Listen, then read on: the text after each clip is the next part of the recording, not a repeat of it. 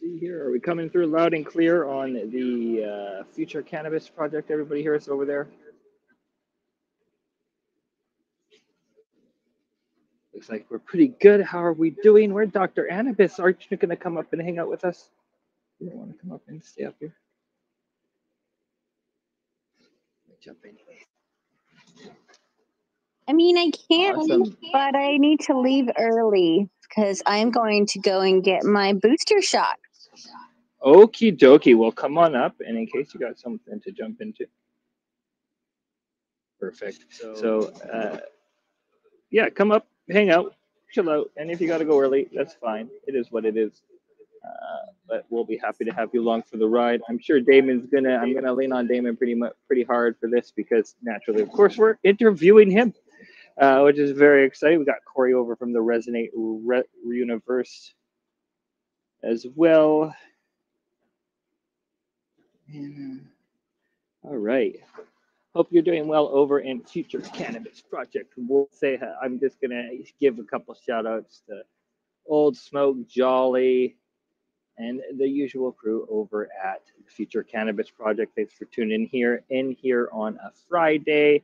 It's always excited to have everybody along, and we have a very fun one today. We have uh, Dan, and I never learned how to pronounce your last name 100% perfectly. So how do you say it? Uh, just the G's fine. Damien G. You're Damien G. Welcome, Damien G. Uh, you've been on the panel. When did you start join? When did you join the panel at the Dank Hour? Um, well, the first couple of episodes I was in there, right, and then uh, I really didn't come on officially until like I think it was late August, Yeah, give or take. awesome. Good to go. Yeah, I think that was about. Yeah, I think it was late August when you came in, kind of officially. You were in like a few episodes before that, for sure. I know that because I've been playing around with them and editing them, uh, and and doing that whole thing. So it's been uh, it's been a hoot, a holler, and a lot of fun. We happen to have a great conversation yesterday, and we'll have another one today. Now, naturally, uh, everybody's got their own way, so I'm going to be a little bit different about your interview than did Annabis's interview. Then I'll do RJ's interview. Everybody gets you're all special, my special snowflake, but we're all going to chat about it individually. I'd like to shout out everybody in the audience that has come along here in Clubhouse. If you're not, if you're a future cannabis project, want to come over and say hi live, ask a question live on uh, this stage, come on over to the Clubhouse room. Making this happen and having us here. So, Damon, you Yes, have an incredible story um, and and and an in-depth one. Let's just start right from the beginning. Uh, what was your first interaction with cannabis? When was the first time you got high? Uh, first serious one or like the high school experience? Ah, we can talk about Uh, the high school experience. yeah, Um, start there.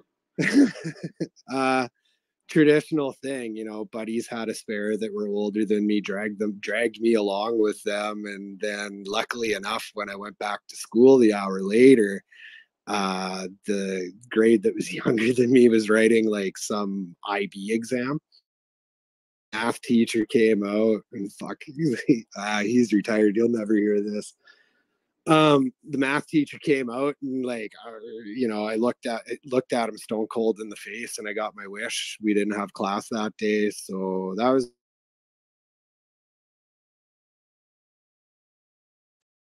cannabis until i got ran over by a car right? Like i grew up in a very conservative household where reefer madness at that like and at that point in time where society was it was just you didn't touch weed because it made you a second class citizen but then when i got into my motorcycle accident uh, that was shortly after the parker decision came out and my doctors at that time they uh Can, can They you break down my- what the Parker decision is for those that aren't Canadian?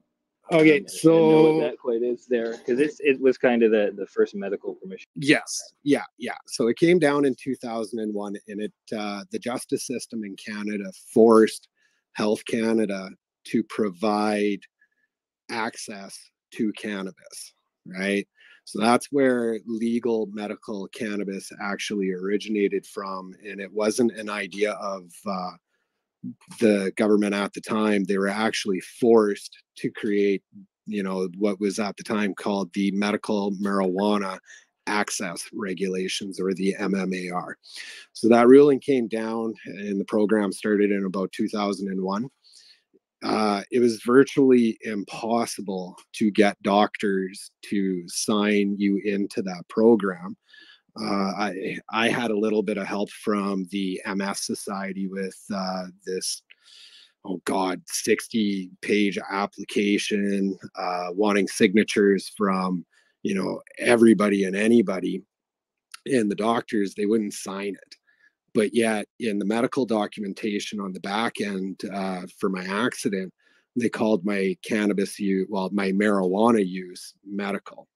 So in essence, if I ever got into a problem, um, I would have been able to take, you know, my health file and just show it to the judge and go, you know, my that my use is medical, right? I've got all these forms and everything.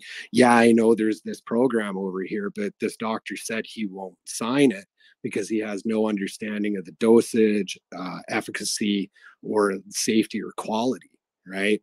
So that's kind of where I had to take that into my own regard and you know i was a young dad at the time and and, and damon you were in like this was in in in like rural saskatchewan no less right like oh, yeah. conservative yeah. like very traditional conservative like i don't know like a lot of people in the audience throughout cannabis project probably aren't familiar with canada as well but the prairies are like your your texas iowa north. yeah your oh, texas oh no north, this is your... texas north man like very classic so keep going sorry i didn't want to i just wanted to set no. the the stage no. a little bit there for the understanding because yeah. a lot of people might come from a more liberal space for it for yeah no yeah it definitely wasn't uh, liberal by any means and so like that kind of forced me to have to really focus on you know quality safety efficacy and then uh, eventually my kids as they got older it was a lot harder to kind of just rely on medical documentation. You know, I looked at it and I was like, fuck, if I get if I get pinched here, I'm gonna have to spend ten to fifteen thousand dollars fighting my case. And luckily for me, I found a new doctor that uh, he signed my documentation willingly. So I was able at that point to really kind of step out more and as that happened the people around me that found out that i was medical you know if they didn't agree with cannabis i'd have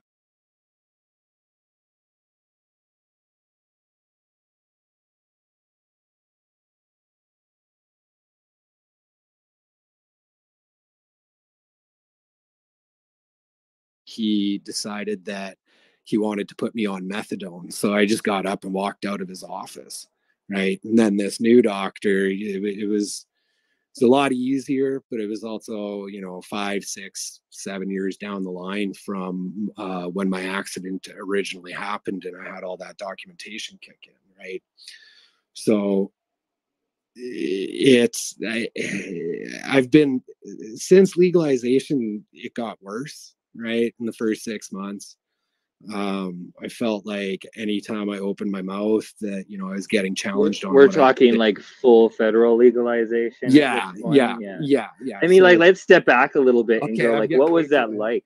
You're getting a little bit ahead i think because i mean you you you jumped like during that period of time you, you also helped a lot. I mean we were speaking recently and i wanted to bring up a story that i think was really awesome and i don't know maybe maybe we're in the same time frame here um, but you were speaking about, you know, a local student who had a medical card. Are you able to talk, chat a little bit about that and dealing with that situation? Was that kind of like oh. post full legal, or was this previous when it was still medical card? So, um, so this young guy that I know, uh, when he was seven years old, like he he had been throwing up constantly um, and the parents were quite concerned. And so when he was seven, he went for specialized training up to a children or not training testing, sorry, uh, to a children's hospital in Saskatoon.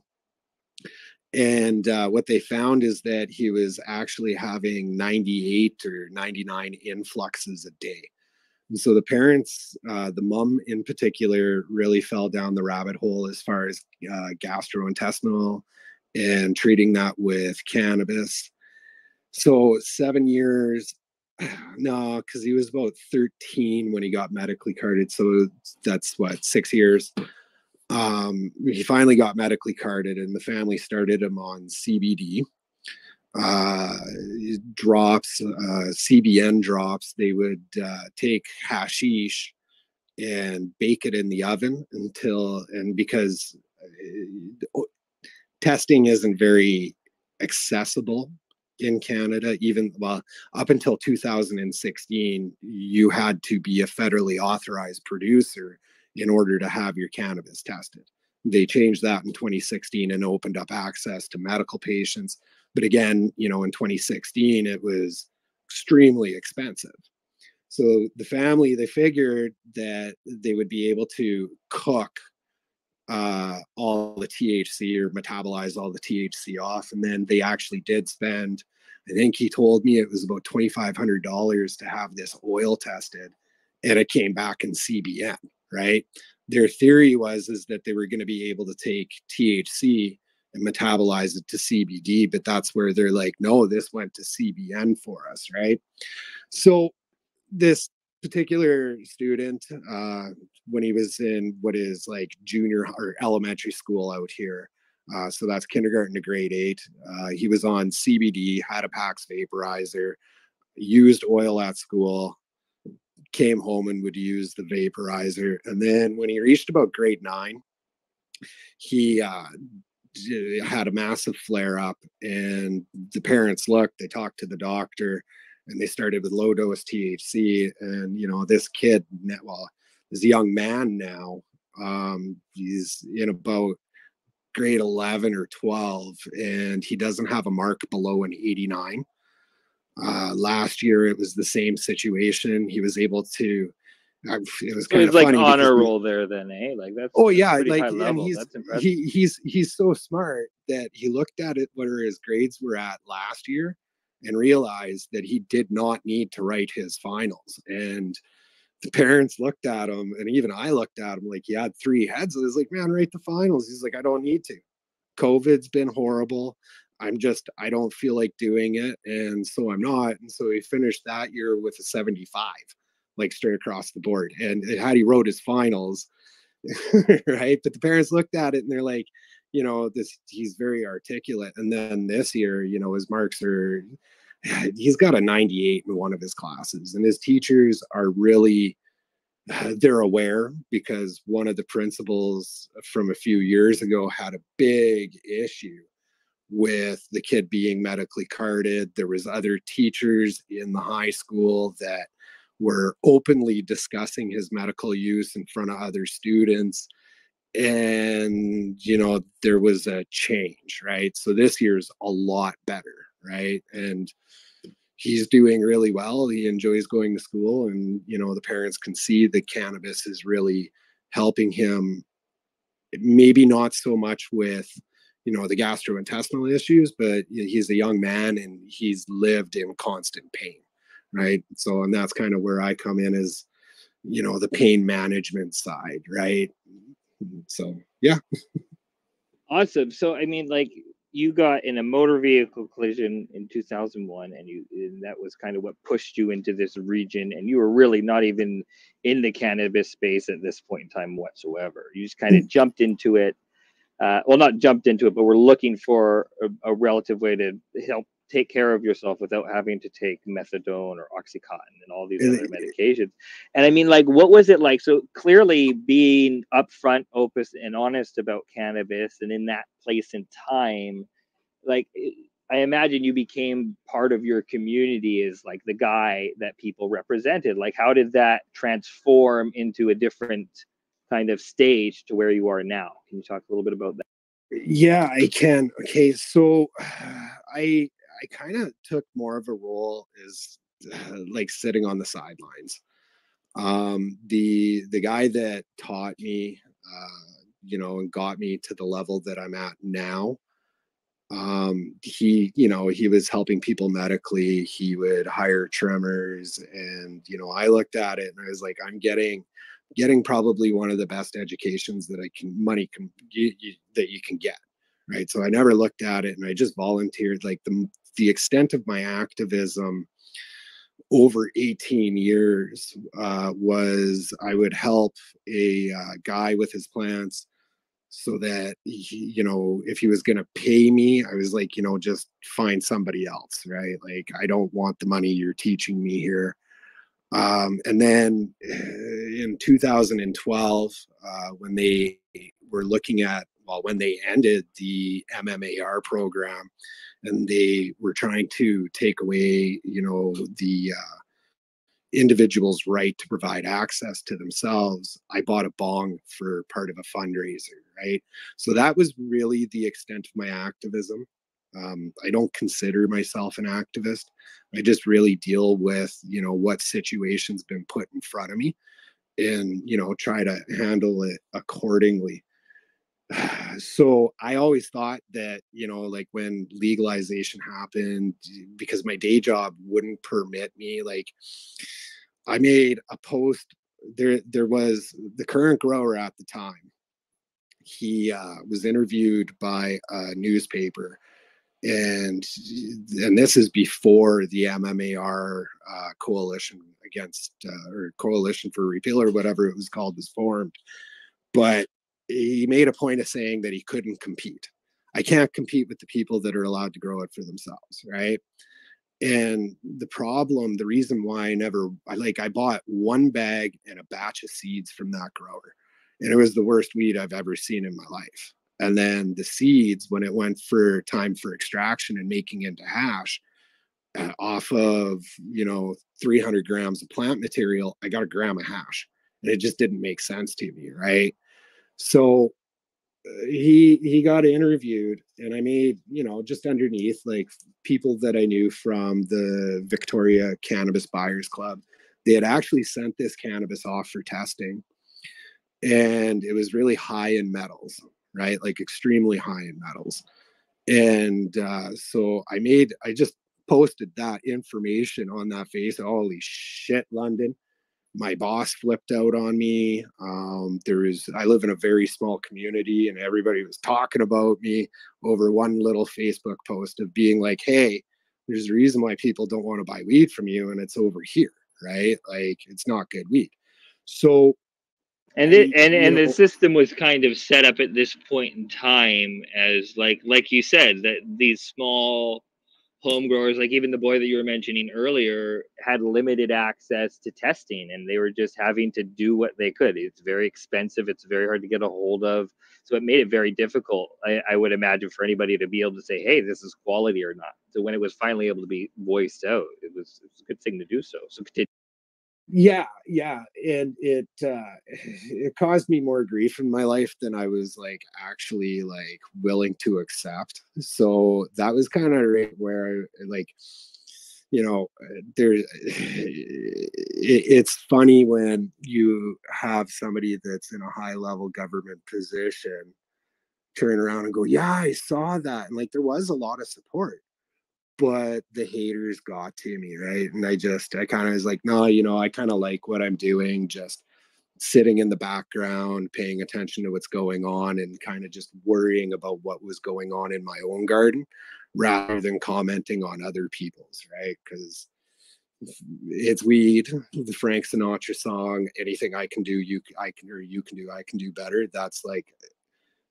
for the most part synonymous straight across the industry. And I think what, as soon as guys grab that, that we're all really fucking good at what we do, uh, that's when you're able to like make really good friendships and stuff. So, and like, just if I can fast forward here. So, like 18 years, I wasn't really active. People knew who I was, right? Because I was medically carded and it was kind of private and stuff. And then legalization happened and it could have gone one of two ways for me. Uh, the first way that I was afraid it was going to go is that the the community that was in place was going to, you know, just be like, "Oh, you're a bandwagon jumper or an opportunist."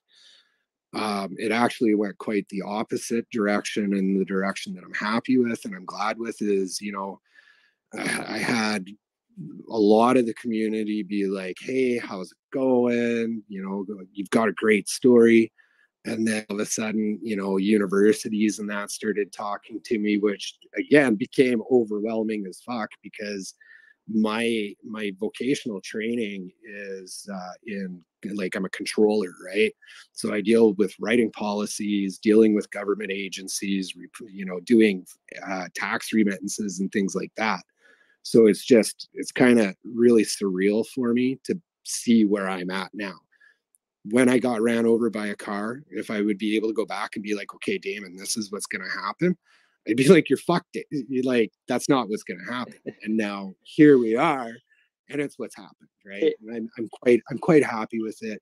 I love the community, right? I really like how the community itself, you can recognize the really thirsty people. And like, you just, you, the old heads aren't dealing with the thirsty people and the new guys with talent aren't dealing with the thirsty people and it's you know that's something that has been kind of integral in the community at least for like the last 20 years that i've been looking in or like knowing this guy or this guy is the second somebody starts trying to do it as a popularity contest that's when shit goes sideways right um best one of the best pieces of advice I got from another grower when I was first starting out is just because you can grow cannabis, it doesn't make you cool. And that's that's that's the truth right there, right? In fact, it's so counterculture is the complete opposite of that.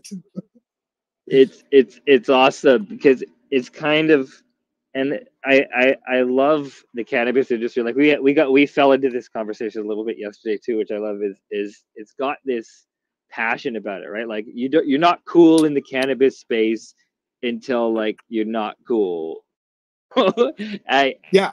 I just I I love that point, and you just got to kind of do what you do. There's some amazing project that we get the fortunate chance to have on uh, regularly, and they're all just dank motherfuckers like yourself that have lived through it. And I, I got to tell you, Damien, there's a lot of people that relate to your story. And and I, I, tell you, like maybe not the best time right now to get zoned into that while we're having this conversation, but there are a lot of great comments from the people who are who have dealt with the same thing or going through the same thing. So I, I really thank you for coming on and sharing the story because I think it's very important for people too, and and it, it relates to a lot. Like myself as a as a medical ACMPR licensed person. Uh, I've been using cannabis medicinally to mitigate the negative side effects of Ritalin. I'm ADD severely, being medic. First thing you do when you're seven years old, right? What do you do when in in 20 in 1990 in the 1990s? What was the first thing you did when you got diagnosed with ADD? Fucking you dope that kid up on some Ritalin. So I've been I've yeah. been on Ritalin since I was like like seven years old and it's always been a counter. I was trying to deal with, uh, you know, the shakiness and then the lack of sleep and then all those other problems. And when I was 16, it was like I got, I smoked my first bit of weed and it like, it instantly mitigated every single one of those facts. And I'm not going to get into the exact story because it's not about me, but it's like that, that story is just, it's so universal in this space. And I think it also becomes that, that anti anti-hero you know what i mean? Like we're, we're kind of the anti-hero type of group right? We don't want to see the guy be the big boss and be really cool. We want to see the person the small family you know that we want to go to the farmers market. Like i was listening to um there's a there's a cannabis farmers market in vermont right damon? And yeah. like it's a farmers market. And how amazing is that? Like it's it's so culturally correct. It's it's ridiculous. I remember in Vancouver, BC, you could walk down Granville Street on Thursdays and there would be tables set up with, you know, all these people selling their cannabis like openly. And this was kind of in that gray area when they announced legalization and then and and and then just before it actually went full legal in October of two years ago, right? Yeah. Um I had a really interesting okay tomato model 20 years ago that's that's what i envisioned and it's it's kind of disappointing because I didn't coin that phrase. And sorry, tomato. What was this? Tomato model, right? You can buy tomatoes at a farmer's market. You can sell tomatoes that you grew in your backyard to your next door neighbor, right? And that was kind of what I was hearing out of the activist community. but now there are guys where big money got to them and now they're like oh we need we need we need and it's just like uh, how many times has there been a court case where a judge has said you know the plant is benign right?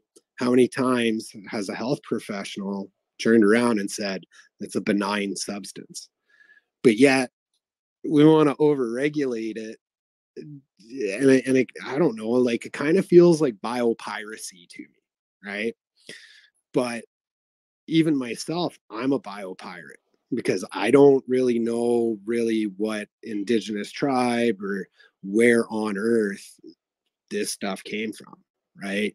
So it's it's kind of weird in that regard. Like you can't definitively say this region in Afghanistan, or you know, we found lake pollen or pollen at the bottom of the lake in Lithuania, right? Or this is such a great segue to get it, it's a point to get into because this is like your a big field of your life. It's ethnobotany. Can you define Yes. that a little bit and talk about that a little bit more? This is just a, I Okay. am so excited to hear about this. So- so it's uh and that that's you know that's it just happened by fluke okay um when legalization started and i was coming out from the shadows i guess so to speak and you know being more visible kind had, of uh, kind of visible. yeah, I mean, you're still hiding i'm behind still i'm still i still got i still got a ways to go right? But i'm not going anywhere right? We've had that conversation. Um so i kind of just at first i had no idea really what to call myself because like i was seeing you know the word or like because cannabis quality assurance or sommelier or like whatever it was right and so i like kind of picked a bunch of different titles and then um, I had I was lucky enough uh, through two of my friends uh, to go for dinner with Dr. Dennis McKenna. So I I knew who Dennis and Terence were. Um, I'm familiar with their work, and uh, but didn't at the point at that point in time, I wasn't a fanboy, right? Like, or I wasn't that into Dennis's work, right? I had no idea he was on the Joe Rogan podcast.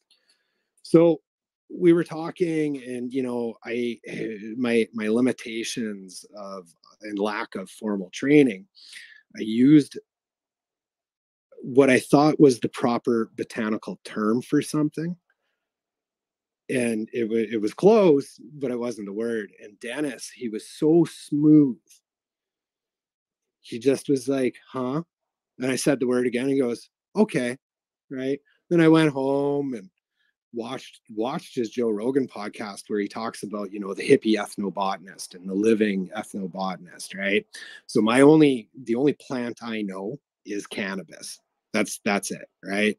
Uh, my wife, she really understands like probably about 90% of the medicinal plants that grow around us. Um, she does have uh, some sort of certification from Cornell. But uh, for me, I just know cannabis, right? So that's where after I watched that Joe Rogan podcast, I was like, okay, that's what I am. I'm a hippie ethnobotanist or a living cannabis ethnobotanist. And I limited it just to cannabis because that's all I know. Right.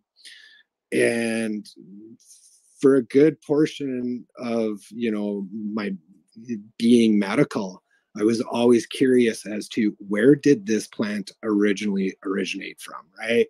It was like, you know, maybe maybe one day they'll turn around and be like, okay, so this is an invasive species from a different world. That's why we made it illegal. Well, now 2018, we know that's bullshit, right?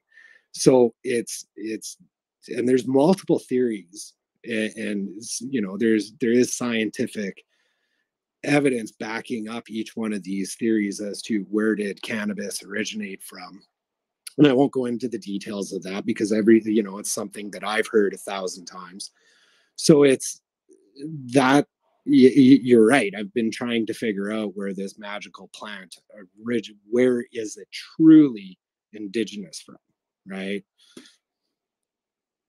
Because now we have we have a ton of biopiracy going on right? And that's not right to the plant. That's not right to the people that have made sure that there still is a plant right they tried to fully eradicate it and that didn't work right?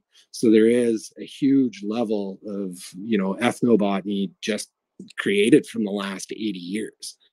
And there is culture that is being, you know, silenced or shut out, right? You look at any one of our friends that's licensed up here and it's it's weird because I'm a type of guy that always second guesses myself and you know a lot of self doubt but my friends that are licensed they can't even open their mouth.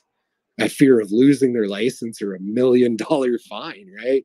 So it just it, it seems it seems to me that you know they are trying to kill the culture that has been created or at the very least want to ignore it right and i don't think that's going to be very successful. Did you follow what i'm saying. Yeah no it's and that's the thing it's the counterculture right? It's why the there, there's going i mean what do you think and i mean this is kind of where we could start like living at this point in time and going like what do you think about the future because i'm looking at cannabis and i there's gonna be a labatt's brewery there's going to be that that mainstream very easy to approach cannabis but it, it, it creates a point of interest and education for your baseline consumer to get into the cultural stuff. So, uh, you know, where do you see that slipping in smoothly? Because it's it's it's got to happen, right? There's got to be a consistent product, or do you think it should be like we should just go instantly to craft? How do we bounce through that segment like we've kind of not done in in North American culture. Like we in, in Canadian culture, like typically when you look at, at prohibition of alcohol and it being re, re-permitted again, you had like federal control and then main centralization of alcohol, and then now you know 40 50 years later the culture is different. There's craft, there's community. You can have more access to local ingredients. There's education, there's knowledge. But that's taken a long time of growth and development. But I also feel like maybe a little bit of government discretion happened in the process. How do you feel that is in relation to cannabis, and how do you see that industry moving forward? I hate alcohol analogies. I, I do I do too, but I don't look at it like an alcohol analogy. Look at it like uh look at like look at it like um like um a prohibition analogy. Like not like not like the analogy of the substance because I don't think you could ever correlate cannabis to alcohol because alcohol's like I don't need to get into the details of that, but I mean the process of legalization and education is more what I want to focus on because I, I don't think you well okay so like there's two ways to look at it right? It's it, this is kind of loaded but on my end like i'm gonna give a loaded answer here. Look at the amount of violence and stuff that uh, played out around solely alcohol right? Uh, 45 minutes away from the town i live in um, there's actually it's referred to as little chicago uh, Al Capone had tunnels. It was a complete bootlegging city. There's a lot of crime, a lot of violence. Okay. So cannabis users the most pa- and like even growers, right? Like, yeah, we're extremely competitive, but when it comes down to it, we're the most passive people on earth. Right. So that's why like I look at it and I'm like, you know, the alcohol thing is, is, is, like I understand where you're coming from, and it's the most common thing to like kind of compare things to. What I want to ask is, do you know who grows the potatoes for McDonald's? No, you don't. I do because you drive through the town, you know where they're growing, but like McDonald's isn't hyping up their tomato growers. They're hyping up the brand, right? So with commercial cannabis, yeah, you're you're you know huge conglomerates. They're probably not even going to grow the cannabis and just slap their label on it, put millions into marketing, and and do it that way. You, you think it's going to go white label culture just because I don't because you in, don't in, think the in that, in, in that in that regard, right? So tomatoes are white labeled culture. Potatoes are white label culture, right? But my father-in-law, he's been growing tomatoes for 40 or potatoes for 40 years. His potatoes are awesome. They have the thickest skin on them. Like they they destroy anything that you can get from the market and that's what's going to happen is there's going to be you know not everybody well yeah not everybody is going to grow their own cannabis. Uh, i've seen from legalization to now in the last three years where i live probably you know in a community of 2500 there's maybe 100 people growing their own cannabis now right? And they're And they're having good success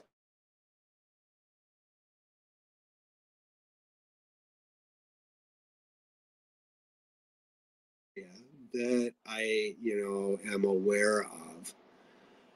I'm the only like so MMAR injunctive holders started at about 30,000 and I've heard that has dwindled down to about 700 people who are still covered under federal injunction. Uh, medical growers that I'm aware of now well yeah see that's now um, starting out in my area. I was in the town I live in. Oh, I could, I can say fairly confident that I was the first one because I made a lot of people's heads explode, right? But then I mean, like three years ago, how many years do you ago think there before were? legalization, uh, you know, maybe a half dozen to up to a dozen, right? Not very many in re- like in the city. Yeah, there was lots, right? Like um, you look on Health Canada's website as far as what the grow numbers were, but when I first got licensed, there was only seven in the province of Saskatchewan, and then the next year it was like 200 right because it slowly picked up steam Yeah, and, then all of a sudden it's okay. You find out about it because I mean, I I tell you what, I was so nervous applying for mine because it's like all of a sudden you don't know what red flags are gonna go up. You're literally just saying, "Hey, government, I'm growing cannabis in large volumes," and even to this day, with stigmatism, it feels nervous doing it. And and you've been doing it from 2001. Do you still get that same kind of like, "Oh, I got to renew my license"? I don't have to renew my license. Oh, I'm your go- My my regulations, my regulations are uh, protected by virtue of court order until further notice from the court. So that's me. I don't have to renew. Um, I, I, to be honest, my doctor, like when I had to renew, I was going like, you know, how they're like, you got to renew every eight weeks or eight weeks early. So just so I didn't get hung up without a license, I was in my doctor's office and he was signing every eight weeks and we were renewing every eight weeks, right? Just just to be sure. Yeah. that's- squeaky that's- wheel sque- is- is sque- is squeaky wheel right like so um I think I that's a really good point that you like that you highlight on and that you've really managed to do through your time that is is is really valid is that you gotta like in these legal markets it's not necessarily a hundred percent about like well I mean you gotta follow the rules but they're words right? They're open for interpretation. So you're you're able to use that advantage to further you know oh, what yeah, you're doing. You're going to keep it squeaky clean and follow the rules as tightly as possible, but you're also like using the rules to your advantage. It's it's very advantageous. That's a great to think about Canadian government, like you mentioned when when what was the what was it again the the original bill to allow home growing medical growing in uh, medical marijuana access regulations and marijuana was spelt with an h yes the, the very terrible like the, the like just straight up I had, like I had I had theories about that, whether they were right or not.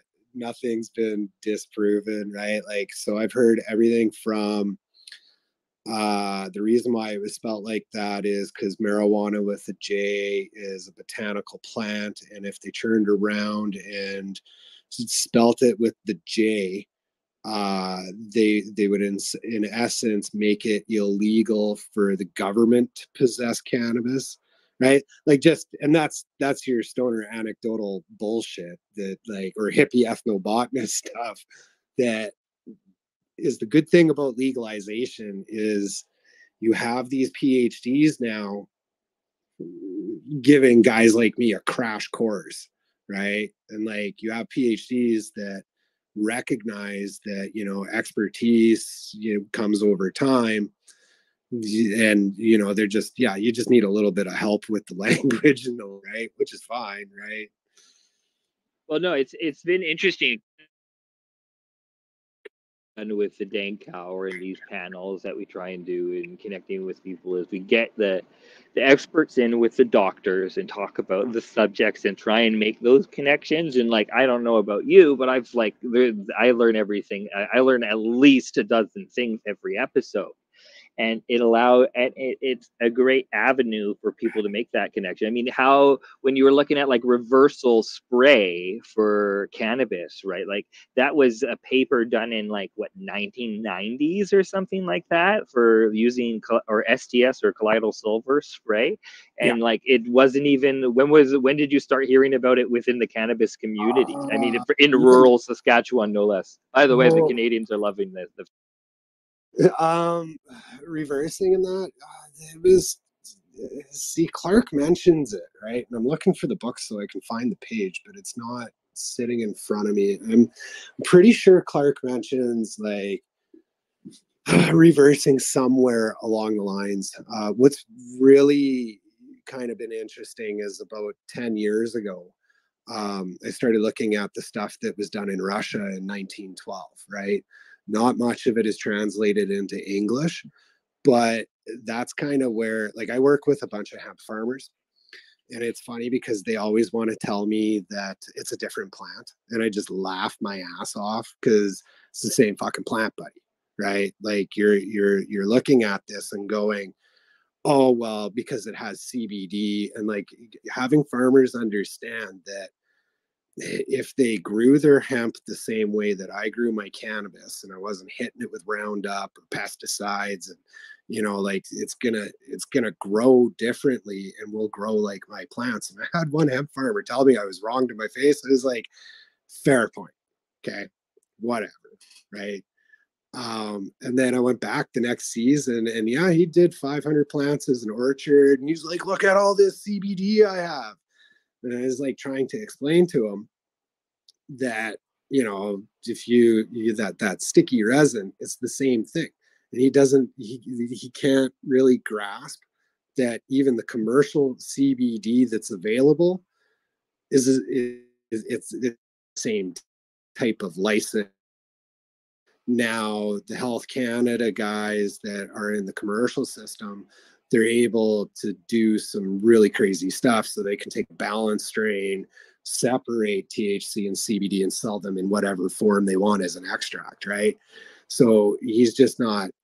It's funny because the hemp farmers aren't there yet, right? They they still think it's a completely different plant, and yeah, it's not. I mean, uh, you know, I I had an awesome conversation, and I, I'm sure you've chatted. If you happen to have an opportunity to chat with Anne about it and read her paper too, it's really interesting because there are like it's not divergent enough to be a separate species but there are like you can you can like take it and sample it out and test for like a, a epigenetic markers for them right like there, there, there's a separate they have a separate grouping of markers that are pretty consistent at least in cultivated ones i believe but anyways you'd have to read her paper i don't want to quote her and get things wrong to, to say that it is it's exactly the same plant it's not divergent as a species but i wonder like because you could technically continue to breed things separately. Would we be able to do so over, you know, another 150 well, years? Especially no. with the fact that cannabis, like if you look at the turnover rate of cannabis, you can do four crops a year and and and, and go do four turns and develop, you know, four times a year. That's kind of there's not a lot of plants that you can evolve that quickly through selective breeding, right? You know what I mean? Like, would it be possible? Probably not. Uh, maybe in a hundred years or so. Um, with uh, CRISPR editing that's going on, there are companies that are working on this. Uh, some started in like shit 2015 or something like that. Uh, what I'm afraid of is so Health Canada, they gave a strain out called MS17. And it was almost like this plant was selected so that you couldn't extract it um like or do any extract like extraction yields were garbage right like you'd have and the the potency level was about 15% and they top out at that, right? So myself, what I'm afraid of seeing is that with you know GMO'd, right? Because that's what it is, is that you're going to end up seeing you know the ability to grow your own at home disappear, right? And you're going to get into a situation where uh, companies, eh, you know, like they'll be able to tell genetically where that plant came from and then you know ask the question how did you get this? right? So that's what i'm afraid of. Technology move right so is it going to be more like five years when we start seeing that and they get really competitive? And again it comes back to this biopiracy that went on right? So that's that's kind of what i'm afraid of. Yeah. I can see that. I mean uh, i'm it's an interesting phase that we're at and it's kind of like really fun to be at this crescendo. Like if you if you look at what's going to happen in the us so you're probably going to be federally legal in the next few years um, and and then Europe will follow suit quickly if they don't hit it hit it on the nose like pretty much soon. I think Portugal there's a few countries on the way very quickly, and and it's going to grow and like plant the seeds and develop very very quickly. It's kind of it, it's interesting to be at the front of this space and seeing all of these amazing things happening and the potential that it has with it, but also the the weird framework that's been created to kind of mitigate these potential. I mean, in Canada, just so everybody's aware, whether they're American or, or Canadian or or wherever you happen to be, provincially there are some some laws and municipally it's changed. But I think in general in Canada, every person is allowed to grow four cannabis plants at home on their own. It, we I, I'm a licensed grower, so I'm able to do a hundred um, but I think you could get pretty large ones that are available out there too. So I did want to give an opportunity for people on the stage or in the audience or over in the amazing uh, Future Cannabis Project area to come up, uh, ask a question, and uh, of our, you know, amazing Damon. Sorry, I'm having a little bit of a brain fart. The rain is trickling here, and it's just like, and I'm in a greenhouse too, so it's very relaxing. And now I'm starting to lose focus but that's beside the point. So if you want to come up and say hi, raise your hand, come on up. Otherwise, Damon, what are you smoking and what did you harvest for fall? And what are you most excited? I mean, you guys, yeah. we, we, we didn't touch on everything either. We could really jump into like your genetic breeding area because we kind of glossed over that a little bit. You're you're a bit bit of a seed junkie, aren't yeah, yeah it's uh it's never yeah.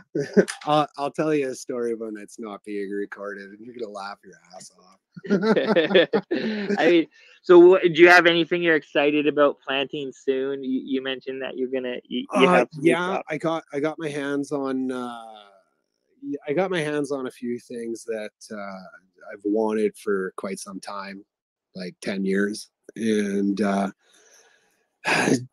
uh, last year I ran through nine nine different strains, and I'm only keeping one. So it's I've got some room that I've got to fill.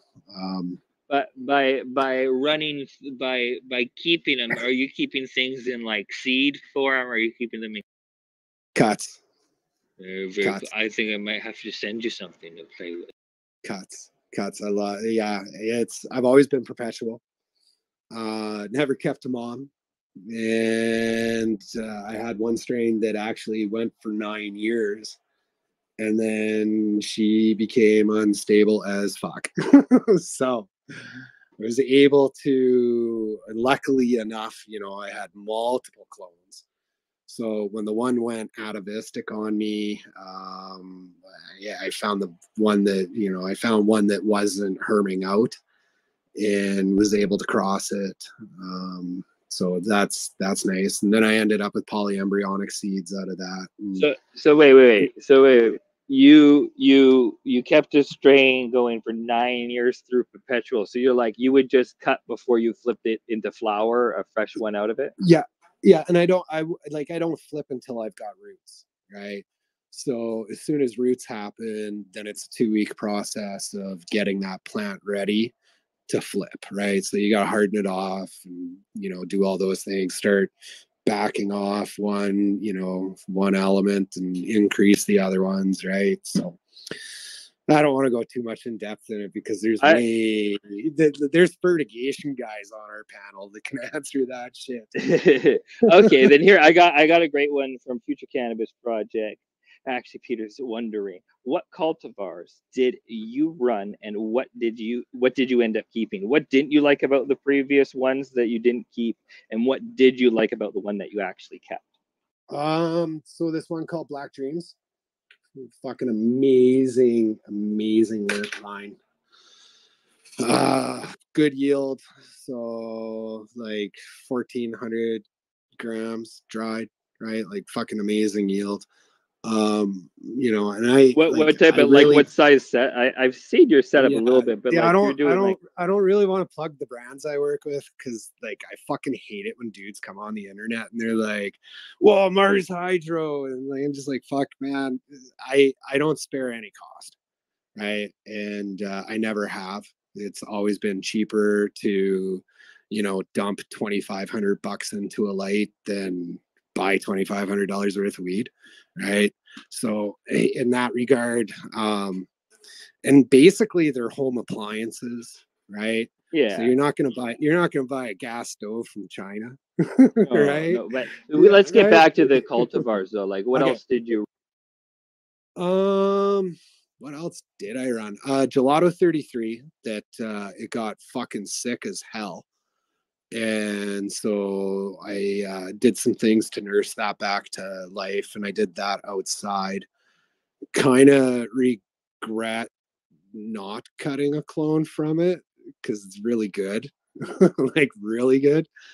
Uh, and then uh, another one called Green Spirit, and that one was uh, susceptible to issues. So I'd like to just keep it simple, right? Like, knock on wood, I don't have problems with PM, but that's also because where I live, the relative humidity rarely will crack 45. Like, we're not humid here, we're dry and arid. So uh, it, uh, the reason why I kept it is because it's good right? Like it, it tops out at that 21, 22, big yield.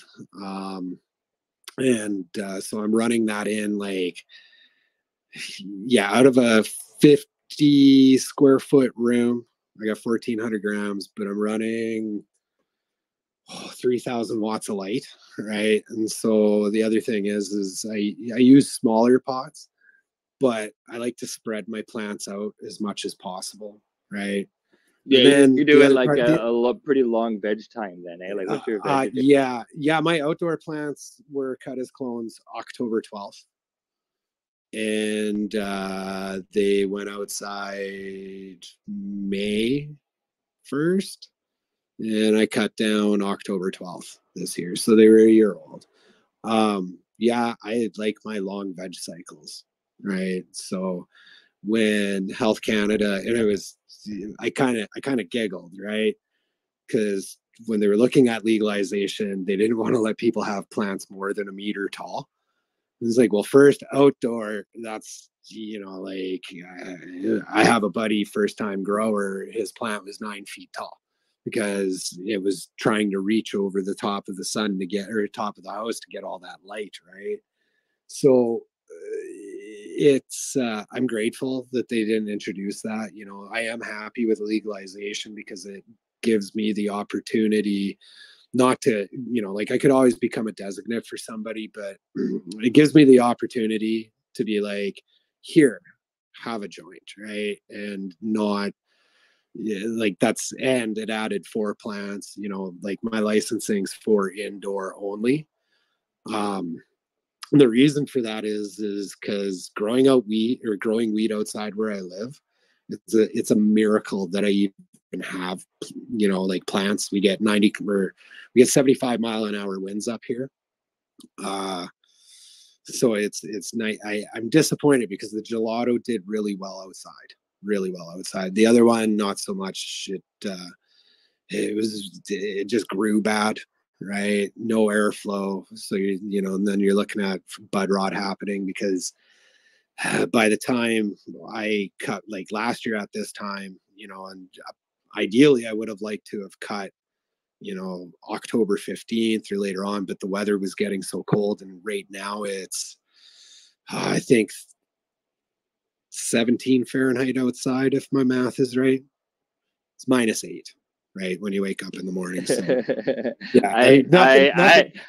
I'm like in Vancouver in a greenhouse right now, and it's 25 degrees, and I just like, and I, and I have this greenhouse going all year long, and it's like Canada. It's like this one little spot in Canada where you can get away with this, and and I just hear about everybody else talking. It's like, oh yeah, well it was like nine minus eight last night, and the the the permafrost is starting and it's it's like yeah, yeah what people don't understand is like it, it, you throw cannabis outside in canada it's it's a it's a shot in the dark right like you, the the i've I've seen some people do it, but most of what I've seen for outdoor cannabis has come through with any success has always gone into the production of hash or extracts, um, just because it's just you can't mitigate when you have those type of winds, um, and like you're in the prairies, right? So we're talking bottom out humidity. This is not the place that these plants typically grow at. So a lot of people throw it out and stuff like that. But if you're throwing, if you're doing um, if you're doing like photo period plants like gelatos, like these long spacing indicas, the fact that you got any, I'm very impressed with. I think that's pretty awesome. And those were definitely some strong genetics. Do you do you have anything you're looking forward to next? Like, what are you gonna, what would you like to put in the ground next, and what are you looking for exactly? The the, uh, the, the, the, nerds on Facebook, uh, Future Cannabis Products, lo- love to hear the name. Blue, yeah, I know that. That's why I love this channel, man. So yeah, shout out to FCP. Um, Blue City Diesel, like that, the Blue God crossed with the New York City Diesel. That uh, that's something I'm excited about. Uh, Blue Crush is another one. What else do I These are all off of Blue Dream, kind of. Is that where the? No, uh, it comes from Jordan of the Islands. Oh and, yeah. I've run some of his stuff before. I've had good good good outcome. Um, yeah, yeah. I uh, I also I'm a huge fan because I've got a lot of friends that are like, here, check out these seeds, and I'm like, this is straight up bagweed, and I enjoy bag seed. I don't cut it, I don't propagate it. It's th- those are one runs, right? So I've seen the the more interesting expressions have always come from the bag seed right? But just myself personally like the guy the guy who taught me how to do what i know i the very first time i'm like oh i'm going to take strawberry cough and cross it with dj shorts blueberry. And he got really really angry with me and explained the principle of true breeding and what my responsibilities were right? And clarke covers this off in his book. Um my buddy has the bedside like i've got i'm blunt and i have bad bedside manner um, but my buddy's kind of like a rhinoceros right? Like he doesn't pull any punches and it's just that's that's how it is right? So most of the interesting stuff that i've seen has come from you know hermaphrodite possibly hermaphroditic bag.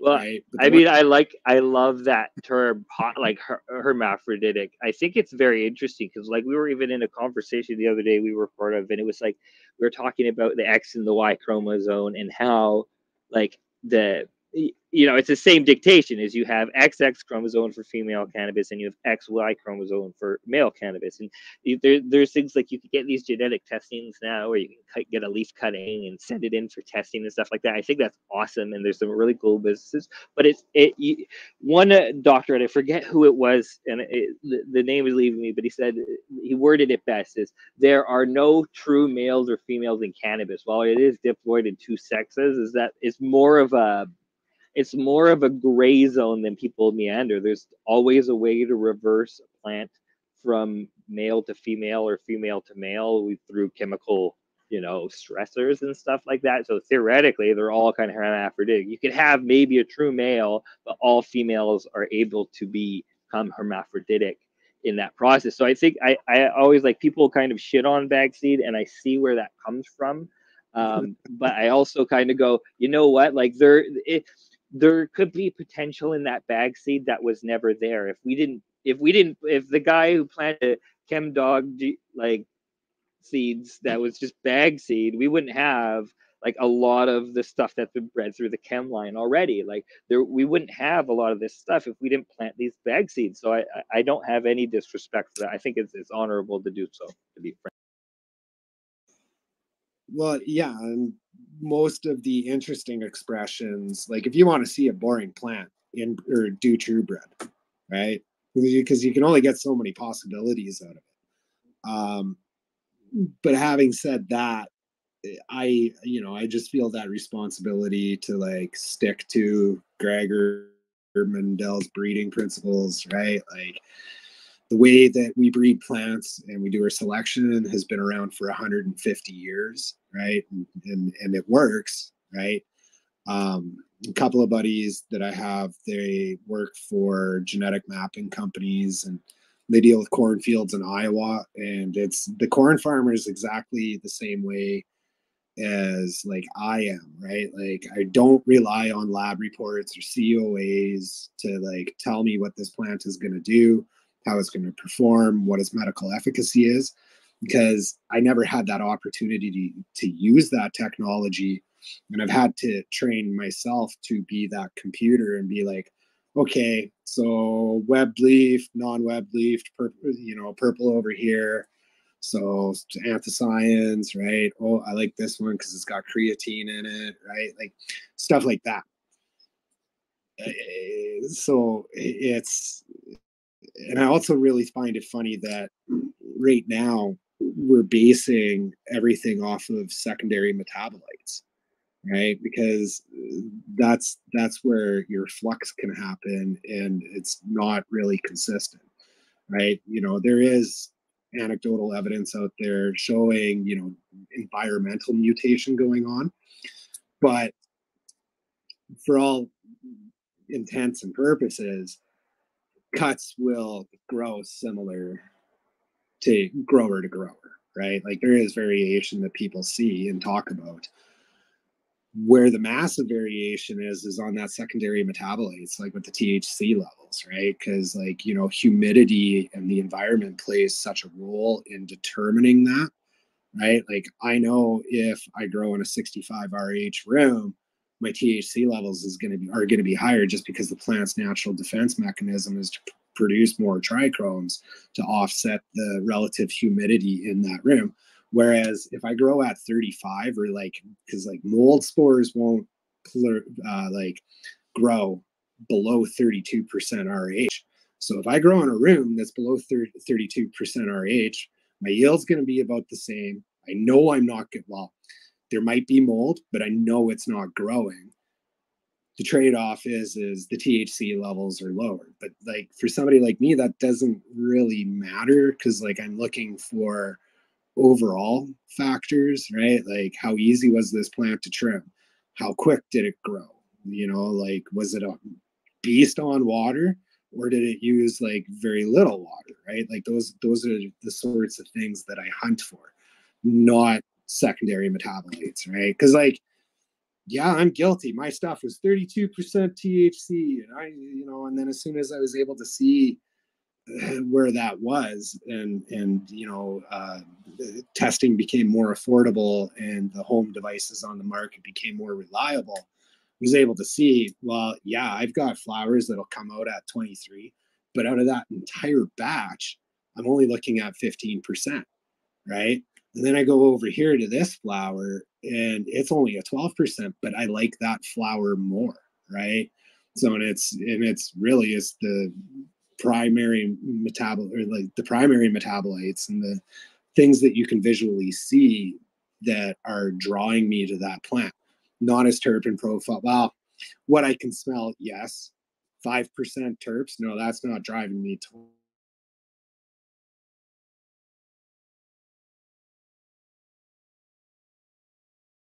yeah and picking the like you like you mentioned i think this is really interesting when you look at look at testing in a lot of places if you can take like if you're just setting small sample testing and you're using like top buds and the very crescendo stuff, your THC numbers are going to be a lot higher than if you're using mids and uh, not even mids or like stuff that's just below that that still There's, looks exactly the same but isn't getting well, the same amount of reaction. Not not not to burst your bubble, but there's there's lines out there where the inside flowers have more THC content right? So the smalls are what you want out of that particular strain. You don't want the you don't want the tops you know you know or what everybody calls quads. You want the smalls right? And uh guy who taught me when he first was teaching me how to trim um he's like those little ones those are yours. He's like well what do you mean? He's like well it's called the grower's smoke he's like why he goes because that's what the growers stuck with right so now, 20 years later, you know, I know which one of my plants. I fucking love those popcorn buds, right? Because I know they're more, they have more THC, they have a better aroma, uh, right? Than, you know, the massive flowers from it's all good weed, right? Like three years into legalization, uh, the consumer, even the new consumer, is spotting issues and identifying issues is really easy to do um, everybody's got that figured out. What they haven't figured out is, you know, where on the plant. And like, there was one group that I was working with, and they had no idea that it was like, it could be 25 at the top and 10 at the bottom, or, you know, it could be 10 at the top, and then you get inside the plant and it's 25, right? So there are lines that do that, right? is it based like indica versus sativa? No, because it's kind of pretty much some indicas the inside will be higher, some sativas the inside will be higher, right? So it's, it's handy knowing those secondary metabolites in like that situation, but overall, really, it doesn't matter, right? like at all. Exactly. Oh, we're all like we're all going for individual things. I think that's an interesting point that you you mentioned. The outliers that you specifically hunt for are stress induced outliers, like things that I like don't need very much water but have a lot of growth rate. Um, don't have like that that are outlying not in the fact of of terpene and and, and cannabinoid production, but actually on high stress stuff. Because I mean, really, when you look at it the idea is to get cannabis in as many gardens as possible. And we, we've chatted about this whole thing, and we have a bunch of Canadians on here as well that can talk about how challenging it can be to grow in an outdoor environment here in Canada. So looking for outliers like that that would benefit this kind of a consumer, or not even consumer, but a, a group of people is, is highly advantageous. I mean, it, it, it's a great plan and, and structure to look at because it's something that could be very useful. If we want to get people to be able to grow cannabis, like you said, I mean, you say it's a small number to grow, but I, I think from from 12 to to 100 is is pretty exemplary growth over three years, and and that it, it even like the little bit of growth in, over time of more people growing at home.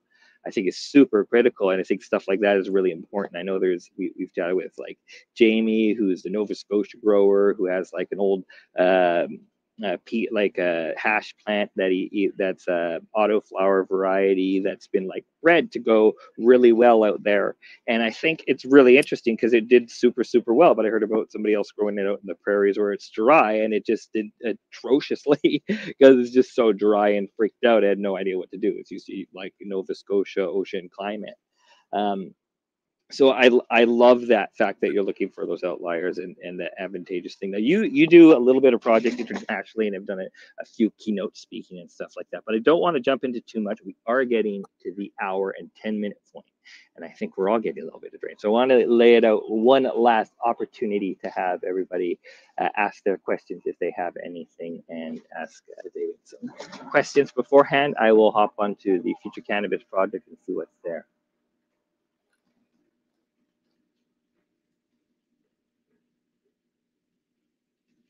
I got a great comment from JW. My theory is that buds are stinkiest before they are fully mature, couch lock sometimes anyway. What do you find like, do you, because you, we've talked about this before, and this actually is a great segue into conversation. So thank you, JW. When it comes down to the freshness of a plant and the development of terpene and the profile there because you're kind of you like a, you, you don't mind trying it out a little bit fresh um, and you like that like right fresh dried cannabis or do you like like a weekend to cure? Like what is your favorite plant? If you had the ideal plant the perfect plant other than you know easy more e- e- easy growing and stuff like that what would it be? You know what would be the best plant for you? Uh, something that flowers in six weeks and that you're getting that like 1 to 1.5 watts or grams per watt guaranteed right um that that would be the perfect plant i don't enjoy i know it sounds like i enjoy smoking something that's like 36 hours dried i don't enjoy it um I just do that so that I know, like, okay, did I fuck this up? Right? Is it flushed? Right? I, I think you could tell a lot at that point in time Yeah. like that that that first taste is this going like to a great- hash? Yeah. Is this going to hash, or is this going to be something that uh, I don't want to necessarily phone in my cure? Right? So, the first thirty six hours never enjoyable.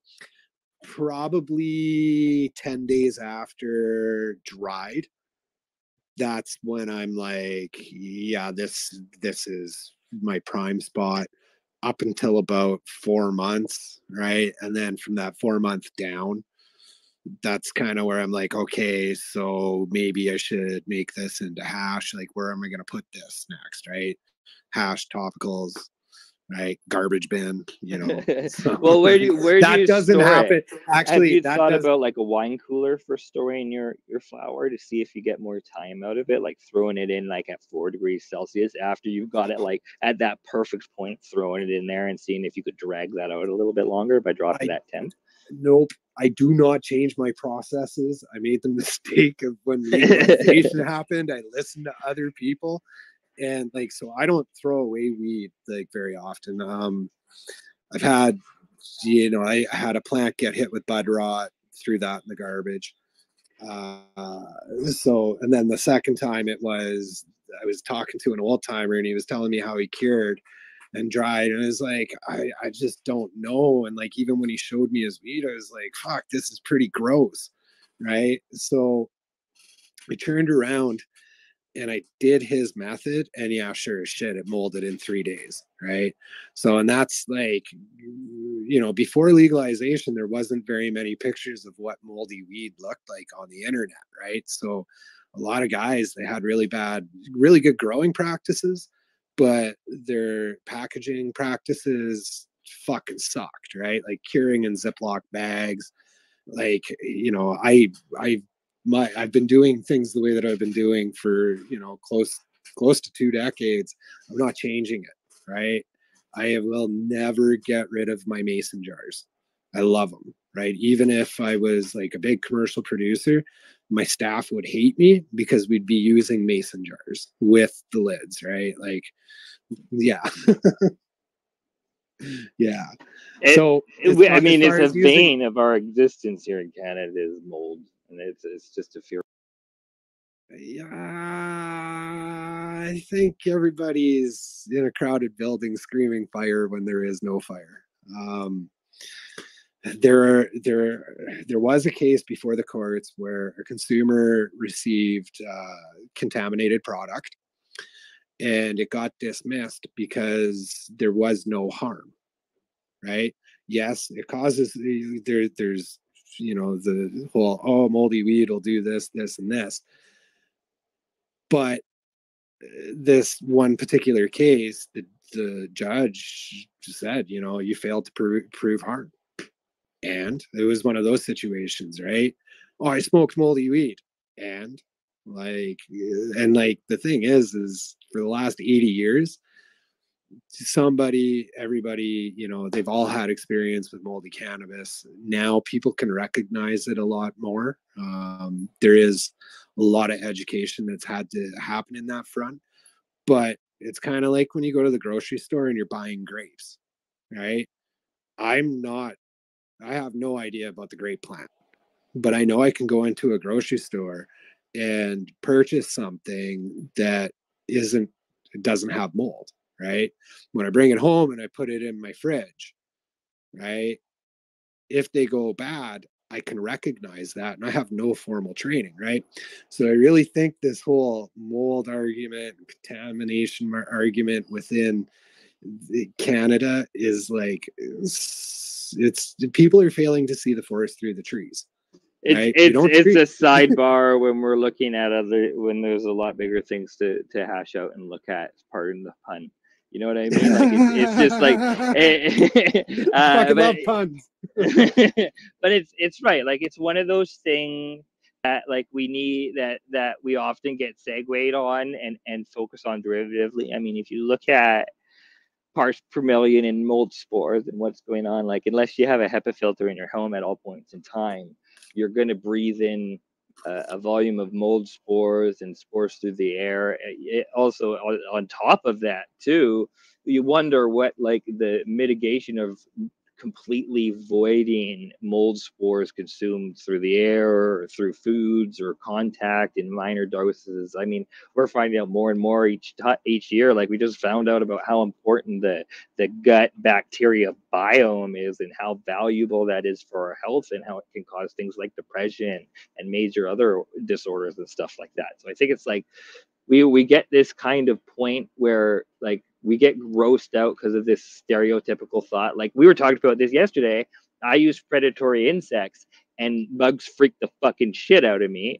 and they like they do. They give me anxiety. Like they're not like great. They freak the hell mantises jumping on me from like round corners like freaking ninjas.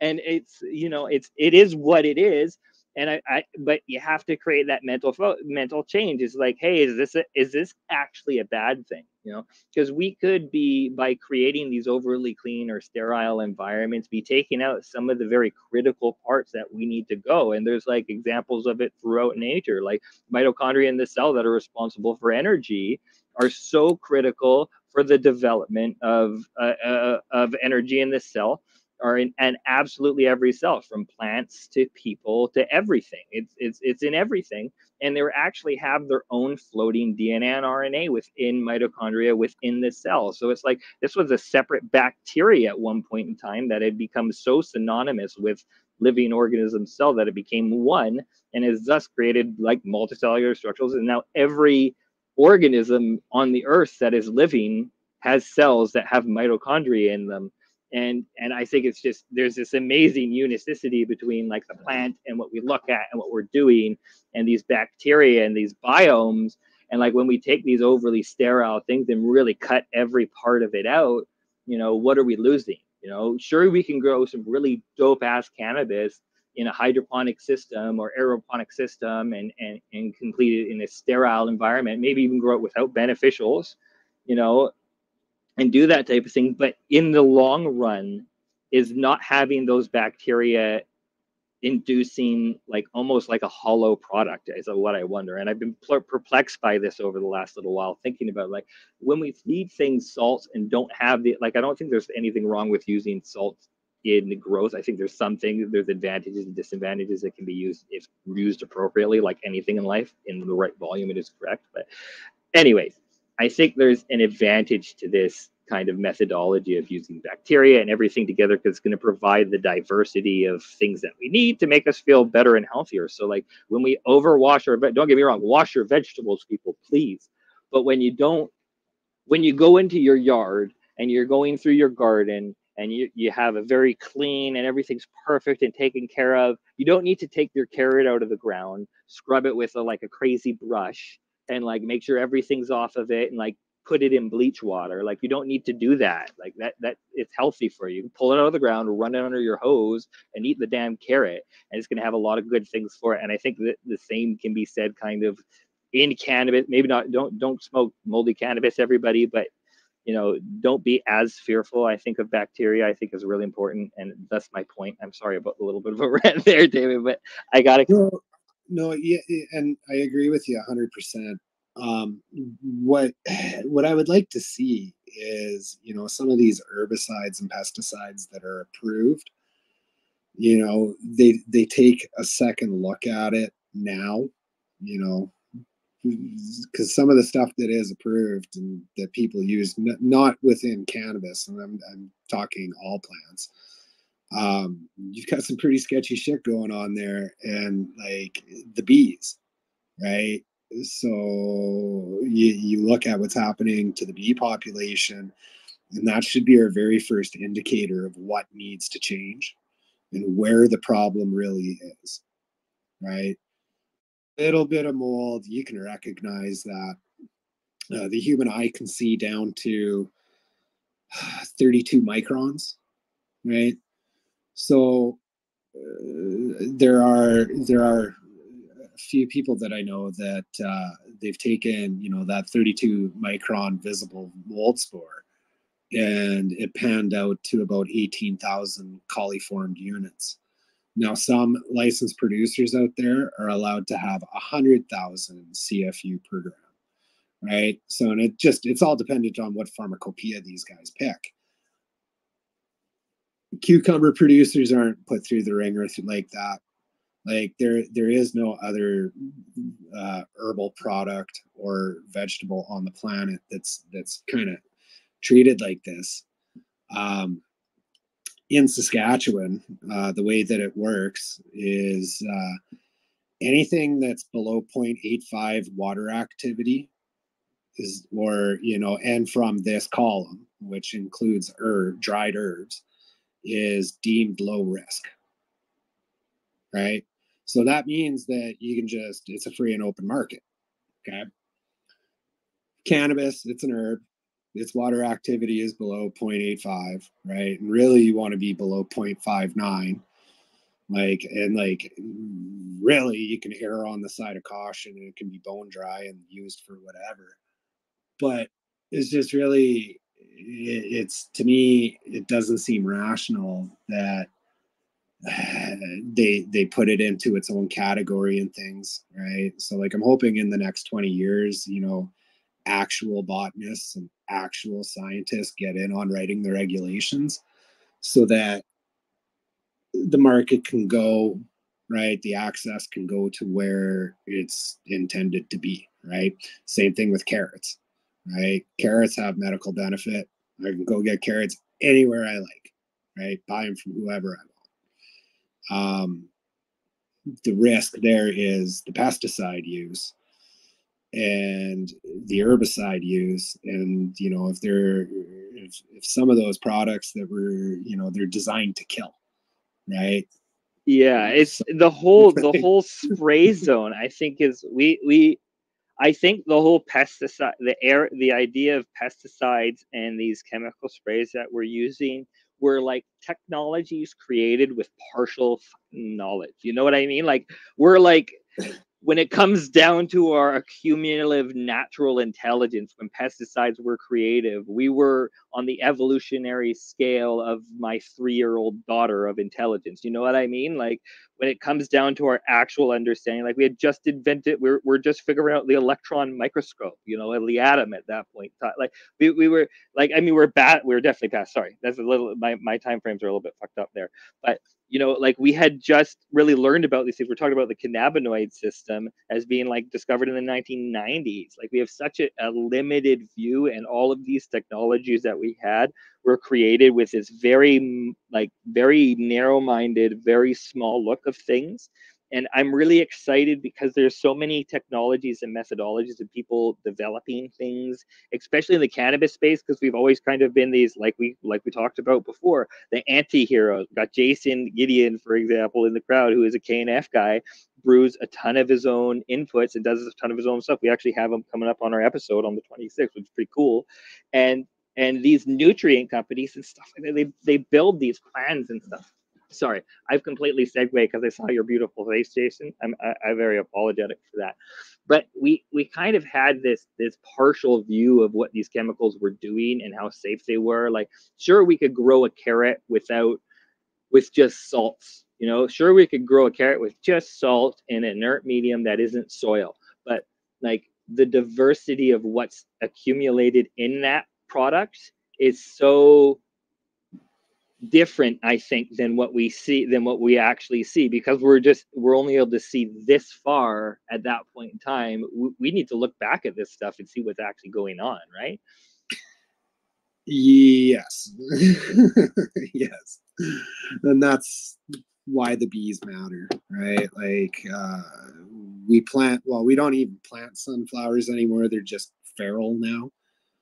Um, so my yard's always loaded up with them. But if you go a mile down the road, you know, there isn't a bee in sight, right? So it, uh, something's got to change there right i'm That's... a huge fan like uh, you know what the it, you, one of the things is, is like for example Alyssum and it's just these crazy little things like Alyssum is this like highly advantageous cover crop that just grows like nuts i don't even know am i pronouncing it right you probably know better Alyssum, a-l-y-s-u-m yes Ilium, Alyssum. Um, sorry guys, it says it's like kind of looks like baby breath, but not really. It's a lot smaller. But these like are highly advantageous, like predator bugs that defend um, crops, harvest and and plant their eggs in them. They're an oh, advantageous space yeah. for that. Like, and you can, and this stuff is just like, and it's just flat. It's a plant that's just all little white flowers, and it's just like bees love it. They come to it Uh, there's all sorts of other pollinators and i think you're pointed out something interesting but i also want to put a sidebar out is that there's like tons of other micro pollinators out there as well that are just as important into the ecosystem that aren't being looked at at all that are having just as much troubles because they're like there's tiny little flowers that bees can't get into right? And they, you need these little tiny smaller pollinating plant pollinating mites and and little flies to to take care of that stuff. So it's such an important ecosystem, and the bees are just like eh, they're that big big sign in the middle of it that says, "Hey, there's something fucking going wrong here." yeah, that's absolutely true. But yeah, David, I think this is an excellent point for us to kind of sum up and end our day. I don't know about you, but I'm tired and excited, and I've had a lot of fun enjoying this conversation. Did was it survivable? Did you enjoy it, Damon? I didn't make. Yeah, I didn't. I didn't have to. Yeah, absolutely. It was a lot of fun. awesome. Well, I appreciate it, brother. You want to just give people a shout out, let them know where to find you at, and then uh, we'll, I'll shut down the room.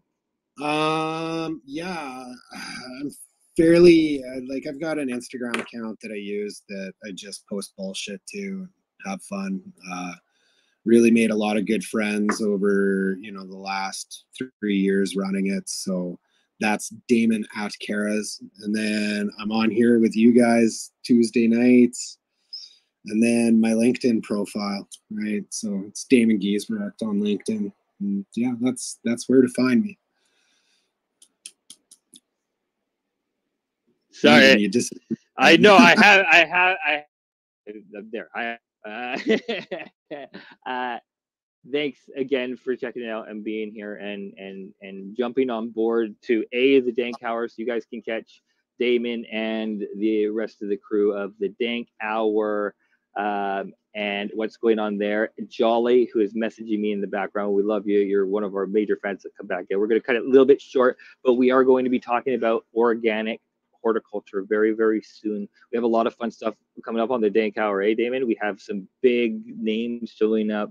Um, Joshua Steensland, Dutch Blooms are coming in as guest speakers. So don't forget to click the little greenhouse on the top, top, haters, follow them you know, check them out, check out their backs and their Instagrams and all that lovely stuff so that you can get in on that. And Jolly, like, we're going to have some amazing names. So I expect some great notes and some awesome questions coming up for those episodes, as well as Jason's one next week. Okay, brother? Uh, and I appreciate everybody. Keep it growing. And thanks again for Future Cannabis Project and Peter and everybody out there in the world wide web enjoying this great show. And thanks again, Damon. I appreciate it. Hey, thanks to Future Cannabis Project. Thanks to you, London. Um, it's like I told you yesterday, what you're doing here has alleviated a lot of work for a lot of people. So keep up the hard work, brother. I I am just happy to support the community and help Peter with the production over at Future Cannabis Project and just kind of get the, out there. I think the cannabis space, like we've spoken about before, and like we talked in depth yesterday, like the cannabis space, especially with all these big corporate conglomerates and these problematic sources, as as individuals, we are but a drop in a pool of water. But as a community and as a team, together we can amount and succeed with a lot more. And there's amazing um, you know, community leaders like yourself, the Dankhour crew, everybody that's on there, but also Future Cannabis Project, who's producing and helping us get this content out there and helping me get the word out there to share. So thank you guys again. And uh, before I get sappy, I'll just end this, end it all now. So appreciate, not end it all. That sounded worse. Um, end the show now. Thanks, guys. My